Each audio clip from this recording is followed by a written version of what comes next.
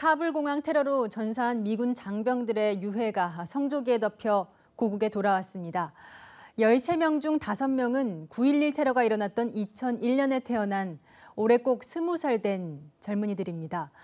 총이 아니라 아프가니스탄 아기를 품에 안은 생전 모습, 세계인들의 가슴을 울렸습니다. 강은하 기자입니다. 성조기로 덮인 전사자 유해가 하나씩 수송기에서 내립니다. 7명의 동료들이 희생자의 관을 천천히 옮기고 대기 중이던 운구 차량에 싣습니다.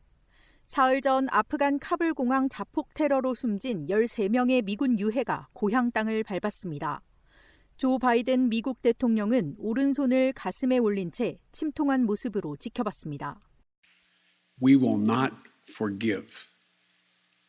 We will not forget. We will hunt you down and make you pay. 이들 13명 중 5명이 20살. 지난 2001년 아프간 전쟁의 시작이었던 9.11 테러 즈음 태어난 약관의 장병들입니다. 워싱턴 포스트는 9.11의 아이들이 9.11로 시작된 전쟁에서 쓰러졌다고 추모했습니다. 전투복 차림으로 고아가 된 아프간 아기를 안고 있던 미 해병대 니콜 지 병장. 난 내 일을 사랑한다고 SNS에 올렸던 글이 마지막 인사가 됐습니다. Some of the last things that she said was, I love being here. This is amazing work. 올해 갓 스무 살이 된 라일리 맥컬럼.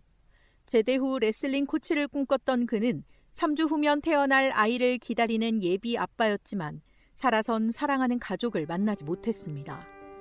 미국에선 이들을 위한 추모가 이어졌습니다.